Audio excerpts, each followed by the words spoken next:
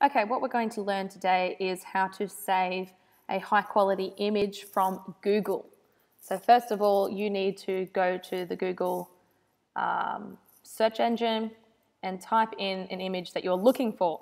I'm going to write cotton field because I'm going to show you how to also merge two images together with the landscape. So this is obviously not what I want to be looking for because this is in all, so I need to go to images cotton fields. Awesome. Next thing I want you to do is go over to tools. And then all these different types of tools will come up here. Please choose size and go to large. So that means now all the images that come up here should be larger. Um, sometimes you have products coming up, just ignore that.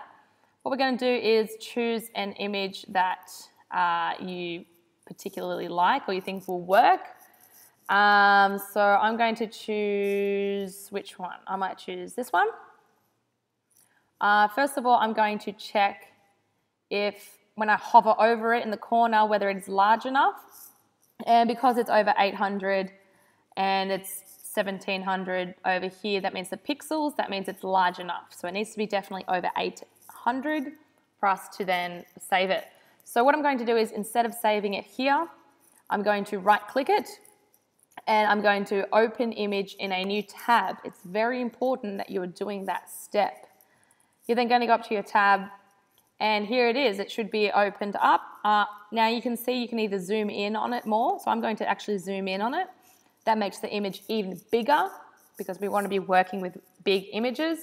Then I'm going to right click it and now I'm going to save image as and I'm going to save it onto just my desktop but I might rename it to um, photography assessment cotton field. So it's really important that we're renaming our images that we're saving so we can find it again. Please make sure that the format is a JPEG file or something like a PNG. If it says anything like, if it says a web page, do not, you've, sa you've saved it wrong.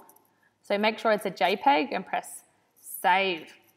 And that is how we save an image. So now when we go into my desktop, it will be called photography assessment.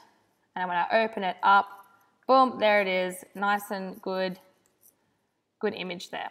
Okay, that's how we do it.